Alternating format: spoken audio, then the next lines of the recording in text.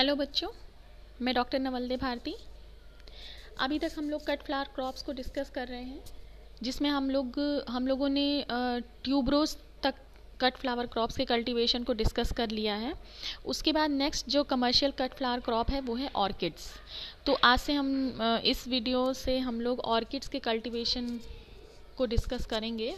Orchids क्या होते हैं कैसे फ्लावर्स होते हैं ये इनकी बॉटनिकल कैरेक्टरिस्टिक क्या है है ना? कैसा आ, क्या इस इंपॉर्टेंट जीनस इसके कौन कौन से हैं और कैसी इनको रिक्वायरमेंट चाहिए इनके सक्सेसफुल कल्टीवेशन के लिए? इन सारी चीज़ों को वन बाय वन कई वीडियोस में हम लोग इसको डिटेल में डिस्कस करेंगे।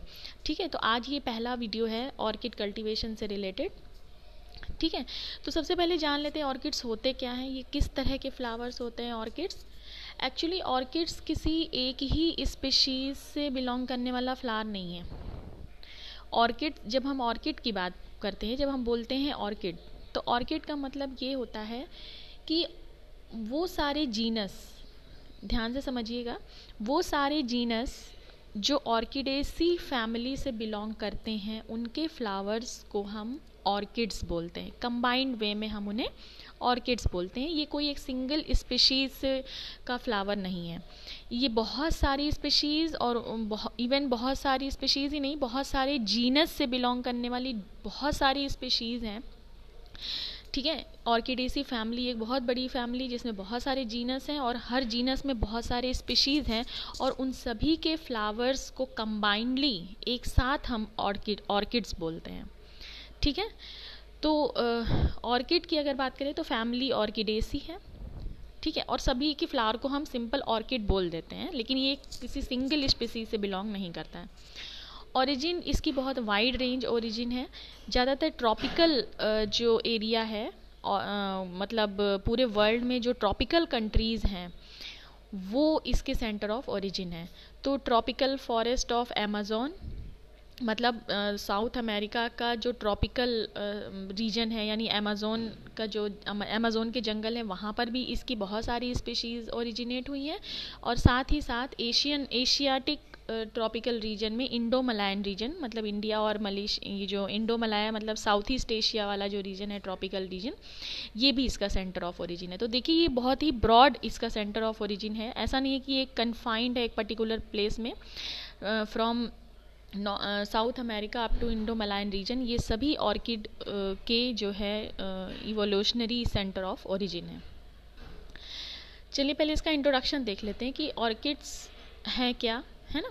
मैंने अभी बताया कि ये ऑर्किड्स जो है ऑर्किडेसी फैमिली से बिलोंग करने वाले जितने भी जीनस हैं जेनरा हैं उनसे बिलोंग कर और उन हर एक जेनरा में जितनी भी स्पेशीज़ हैं वो सभी ऑर्किड्स कहलाती हैं तो देखिए लिखा हुआ है इंट्रोडक्शन में Orchidaceae is a large family of monocotyledons comprising about 800 genera and 25,000 species around the world. Orchidaceae एक बहुत ही लार्ज फैमिली है मोनोकॉट से बिलोंग करती है, जिसमें 800 जेनरा हैं। लगभग 800 जीनस हैं और पच्चीस हज़ार स्पेशीज़ हैं। यानी हर जीनस की में बिलोंग करने वाली, अगर हम स्पेशीज़ की बात करें तो लगभग पच्चीस हज़ार स्पेशीज़ पूरे वर्ल्ड में अब तक जो है आइडेंटिफाई की जा चुकी हैं। ठीक है? Orchids are accepted to the, to be the world's most exotic and fascinating flower. ठीक है, ये अभी तक पूरे विश्व में सबसे ज़्यादा एग्जोटिक मतलब एग्जोटिक जब हम एग्जोटिक बोलते हैं तो एग्जोटिक मतलब कि बिल्कुल अलग, है ना? एक मतलब किसी से मिलता जुलता ना हो, अगर कोई कोई ऐसा फ्लावर जो किसी से मिलता जुलता ना हो, अपने आप में उसकी एक खूबसूरती हो और अपनी खूबियाँ हो तो उसे हम बोलते हैं एग्जोटिक तो ये बहुत ही ज़्यादा एक्जोटिक और फैसिनेटिंग मीन्स अट्रैक्टिव फ्लावर है। ठीक है, जिसमें बहुत सारी वेराइटीज़ हैं इसके फॉर्म को लेके, इसके साइज़ को लेके, इसके शेप को लेके कलर को लेके टेक्सचर को लेके इवन इसकी पेटल्स पे जो मार्किंग्स होती हैं डिफरेंट डिफरेंट उनको लेकर के बहुत वेरिएशन आपको देखने को मिलेगा। तो इतनी ज़्यादा जो वैरायटी वेरिएशन इसमें पाया जाता है। वैरायटी टू वैरायटी और species to species genus to genus तो बहुत ज़्यादा वेरिएशन इसमें देखने को मिलता है। इसीलिए ये पूरे विश्व में सबसे ज़्यादा पसंद किया जाने वाला फ्लावर है। ठीक है? और इसी वजह से इसकी कीमत भी अंतर्राष्ट्रीय बाज़ार में बहुत ज़्यादा है। पूरे वर्ल्ड में इस, इसकी कीमत अन्य फ्लावर्स के कंपैरिजन में ऑर्किड्स जो है वो बहुत महँगे होते हैं। इनके महँगे होने का कारण सिर्फ़ यही नहीं है कि ये बहुत ज़्यादा वैरायटी इसमें पाई जाती है। वैरायटी तो है ही साथ ही साथ इनकी कल्टीवेशन प्रैक्टिसेस जो है वो थोड़ी सी स्किल्ड बेस्ड है। मतलब उसके लिए बहुत प्रॉपर स्किल और नॉलेज होनी चाहिए। तो तब आप ऑर्किड्स का कल्टीवेशन कर सकते हैं और हर जगह नहीं कर सकते, ये भी थोड़ी प्रॉब्लमेटिक है। तो इस वजह से भी इसकी कीमत जो है वो बढ़ जाती है। तो जितने भी कल्टीवेटेड ऑर्किड्स हैं मतलब सारे के सारे नहीं, जैसे पच्चीस हज़ार स्पेशीज़ है तो ऐसा नहीं, जिसमें से कुछ हैं, कुछ जीनस से बिलोंग करने वाली कुछ स्पेशीज़ हैं जिनको कमर्शियली मतलब व्यवसायिक स्तर पे उनके फ्लावर्स के कल्टीवेशन के लिए उपयुक्त माना गया है तो वो सारी की सारी स्पेशीज़ जो है ज़्यादातर ट्रॉपिकल कंट्रीज़ को बिलोंग करती हैं। मतलब वहीं की ओरिजिन है। ठीक है? उसके बाद नेक्स्ट है इन इंडिया अगर इंडिया की बात करें तो इंडिया में भी ऑर्किड्स की बहुत सारी स्पेशीज़ आपको देखने को मिलेंगी। ठीक है? In India they are mainly found in north eastern hill सबसे ज़्यादा ऑर्किड्स का अगर आपको कहीं कॉन्सेंट्रेशन दिखेगा इंडिया में तो वो है north eastern hills north east की जो पहाड़ियाँ हैं, ठीक है? मतलब सिक्किम सिक्किम और आसाम की साइड में अगर आप देखें तो वहाँ पर जो है इसका, इसमें बहुत ज़्यादा बायोडाइवर्सिटी आपको देखने को मिलेगी ऑर्किड्स की। इसीलिए NRC orchid national research centre on orchids जो है सिचुएटेड है सिक्किम में। ठीक है? तो ये बात ध्यान रखिएगा ये बहुत पूछा भी जाता है। अगर ऑर्किड्स के बारे में आप पढ़ रहे हैं तो आपको पता होना चाहिए कि ऑर्किड्स से रिलेटेड जो रिसर्च सेंटर है इंडिया में वो कहाँ लोकेटेड है? तो एनआरसी ऑन ऑर्किड जो है वो सिक्किम में लोकेटेड है जहाँ पर ऑर्किड्स पर रिसर्च होती है। तो आ, आते हैं वापस पॉइंट पर कि इंडिया में हाँ north eastern hill hilly region जो है नॉर्थ ईस्ट का जो हिली रीजन है वो सब जो है ऑर्किड की बायोडाइवर्सिटी से रिच है पूरी तरह से। उसी तरह साउथ में देखें तो के, केरला वेस्टर्न घाट मतलब कर्नाटक और महाराष्ट्र कर्नाटक वाला जो रीजन है वेस्टर्न घाट वाला रीजन है, और कुछ कश्मीर मतलब मतलब फ्यू इन कश्मीर मतलब कश्मीर के रीजन से कुछ स्पेशीज़ जो है वो वहाँ बिलोंग करती हैं। तो देखिए इंडिया में जो है, आपको इसकी बायोडाइवर्सिटी देखने को मिलेगी नॉर्थ ईस्टर्न रीजन में केरला वाले रीजन में वेस्टर्न घाट और कुछ स्पेशीज़ जो है वो कश्मीर से बिलोंग करती हैं। ठीक है, हम आगे बात करेंगे, कश्मीर से बिलोंग करने वाली स्पेशीज़ कौन सी है?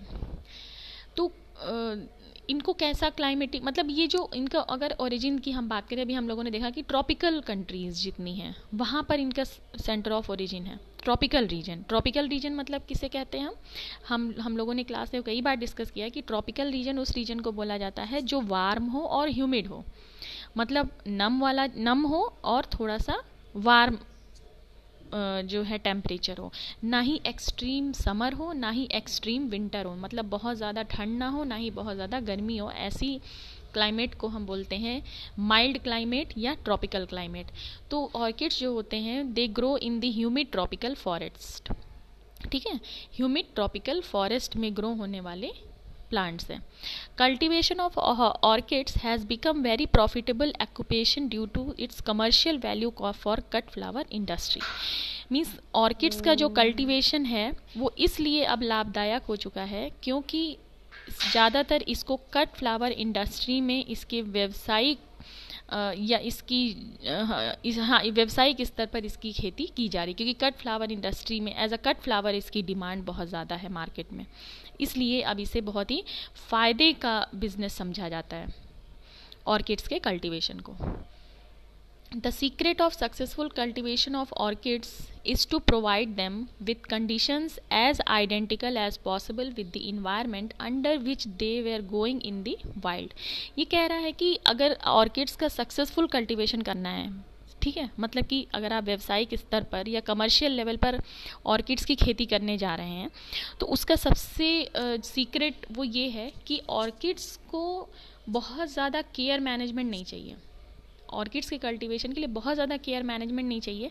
ऑर्किड्स का सक्सेसफुल कल्टीवेशन आप तभी कर सकते हैं जब जितना संभव हो सके उसको वैसा इन्वायरमेंट प्रोवाइड करिए जैसा कि वो वाइल्ड फॉरेस्ट में मतलब अपनी जो उसका सेंटर ऑफ़ ओरिजिन है, जहाँ पर वो उद्भव हुआ है, वैसे इन्वायरमेंट आप जितना बेहतर प्रोवाइड करा पाएँगे, उतना ही सक्सेसफुली ऑर्किड्स का आप कल्टीवेशन कर सकते हैं। मतलब कहने का है कि जैसे जैसे वाइल्ड कंडीशन में नेचुरली जैसे ऑर्किड्स ग्रो होते हैं, बिल्कुल नेचुरल कंडीशन जब आप उनको वैसे ही आप प्रोवाइड करेंगे, तभी ऑर्किड्स ज़्यादा से ज़्यादा बेहतर तरीके से ग्रो करते हैं डेवलप करते हैं और उनमें मैक्सिमम फ्लावर प्रोडक्शन आप ले सकते हैं। मीन्स बहुत ज़्यादा केयर मैनेजमेंट या डोमेस्टिकेटेड कंडीशन ऑर्किड्स की रिक्वायरमेंट नहीं है। तो ये एक मेन सीक्रेट है कि बिल्कुल जो क्लाइमेटिक कंडीशन या सॉइल कंडीशन उनको जो प्रोवाइड करिए, वो वैसी ही होनी चाहिए जैसा कि वो अपने वाइल्ड इन्वायरमेंट में उन्हें मिलती है। ठीक है ओरिजिन हमने बात किया इसका ट्रॉपिकल फॉरेस्ट ऑफ़ अमेजोन और इंडो मलाया रीजन ये इसके सेंटर ऑफ़ ओरिजिन है मतलब काफ़ी ब्रॉड ट्रॉपिकल कंट्रीज़ जितने ब्रॉड रीजन है में इसका बहुत सारी स्पेशीज़ जो है वो इवॉल्व हुई हैं। डिस्ट्रीब्यूशन की अगर बात करें इंडिया में कहाँ कहाँ डिस्ट्रीब्यूटेड है? तो India is blessed with a wealth of orchids flora and about thirteen hundred species are estimated to occur in the country ठीक है इंडिया में अगर देखा जाए तो इंडिया इतनी रिच बायोडाइवर्सिटी है ऑर्किड्स की तो यहाँ पर लगभग ऑर्किड्स की तेरह सौ स्पेशीज़ पाई जाती हैं कंट्री में। ये बहुत अच्छी बात है कि हमारी इंडियन क्लाइमेटिक कंडीशन में अबाउट थर्टीन हंड्रेड स्पेशीज़ जो है वो यहाँ के इन्वायरमेंट के लिए सूटेबल है और उस उन स्पेशीज़ का कल्टीवेशन हम यहाँ पर कर सकते हैं। ठीक है, जिसमें नॉर्थ वेस्टर्न जो हिमालयन रीजन है नॉर्थ वेस्टर्न हिमालयन रीजन मतलब कश्मीर वाला जो रीजन है, वहाँ 200 स्पेशीज़ हैं लगभग।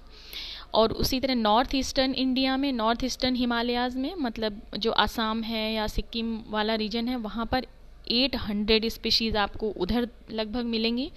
वेस्टर्न घाट में 200 स्पीशीज़ हैं और अदर जो कुछ पैचेस हैं कंट्रीज़ के, स्मॉल पैचेस में, ट्रॉपिकल पैचेस में, वहाँ लगभग आपको हंड्रेड स्पीशीज़ मिलेंगी। तो इस तरह से देखा जाए कि इंडिया में भी जो है ऑर्किड्स की स्पीशीज़ को लेकर के बहुत बायोडाइवर्सिटी है, जिस पर बहुत ज़्यादा रिसर्च और डेवलपमेंट का स्कोप है। साथ ही साथ बहुत सारी वेराइटीज़ और स्पीशीज़ ऐसी हैं, जिसको कि कमर्शियल लेवल पर उनका अगर हम उत्पादन करें तो एज अ कट फ्लावर जो है Indian domestic as well as जो है इंटरनेशनल मार्केट को हम कवर कर सकते हैं, क्योंकि ये हाईली डिमांडेड फ्लावर है।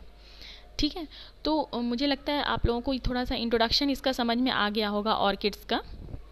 उसके बाद नेक्स्ट वीडियो में हम लोग जो है इसकी बॉटेनिकल कैरेक्टरिस्टिक और इंपॉर्टेंट जेनेरा और किस तरह का ये फ्लावर होता है, उसको हम लोग डिस्कस करेंगे, ठीक है? और इससे रिलेटेड कोई भी चीज़ अगर आप लोगों को कोई डाउट हो तो प्लीज़ आप लोग थोड़ा सा फीडबैक दिया करिए कमेंट्स में लिख करके कि आपको समझ में आ रहा है या नहीं आ रहा है, ठीक है? तो उस अकॉर्डिंग हम अपने इस लेक्चर को और इम्प्रूव करेंगे। बाकी फिगर वाइज और आगे की चीज़ें हम ऑर्किड्स में और डिटेल में हमें बहुत अच्छे से पढ़ना है। तो सारे वीडियोज़ को आप लोग जो है फॉलो अप करिए और प्लीज़ रिप्लाई ज़रूर करिएगा, है ना? तो हमें भी पता चलता रहे कि आप लोगों को समझ में आ रहा है। ठीक है थैंक यू